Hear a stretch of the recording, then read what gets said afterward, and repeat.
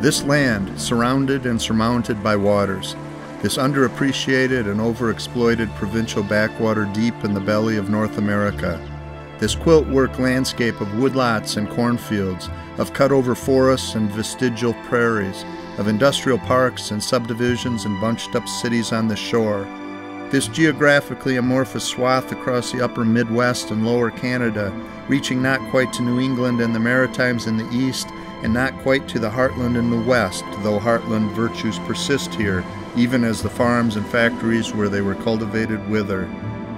Where the trees, trout, beaver, iron, copper, oil, topsoil, waterview property, and labor pool have always been ripe for plundering but are damn near depleted now where sacrifices that fueled the rise of empires while draining most of the profits away have rarely been acknowledged and never recompensed. Where five astonishing seas of fresh water that once were as secure as money in the bank remain our epicenter, our capital, our strength, and our delight, but are no longer very secure.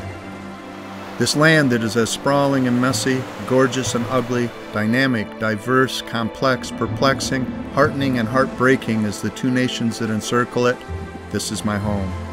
It's not an easy place to know, nor is any place. One lifetime isn't enough to learn a county, a town, even a backyard. Walk a trail a dozen times and you remain a stranger to it. A hundred times and you might earn a nodding acquaintance. Walk it in rain and snow, alone and in company, under a full moon and a new moon, in the fog, in a blizzard, with your eyes shut and your feet seeking the way by touch, and maybe you'll become familiar enough to call it by name but do you know it? When children memorize a song or a poem, they say they have learned it by heart. I'm trying to learn this land, my home, by heart, but I don't know if my heart is big enough. And I don't know if I'm writing a love song or a lament. Both, probably. Both and more, for a complex subject requires a complex song.